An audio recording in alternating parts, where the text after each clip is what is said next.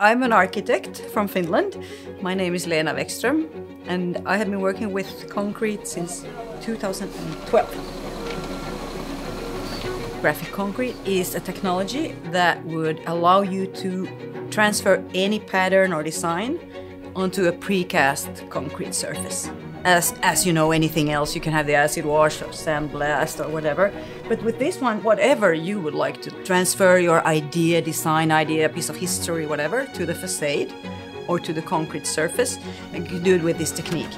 It's a product for the industry, but still, still it can be bespoke, totally, whatever you would like to have. It doesn't matter if it's like a stripe or a butterfly or it could be a text, whatever you can print on a printer.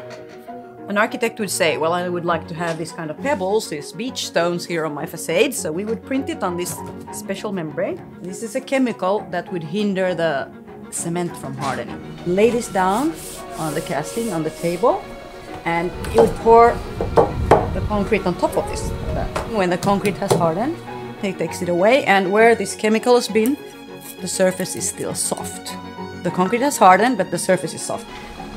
It's great to have the opportunity to be here and to be a partner and work with Knife River. Obviously, very talented professional people and a genuine interest to learn and to learn more and to learn so the people could kind of consult the architects themselves.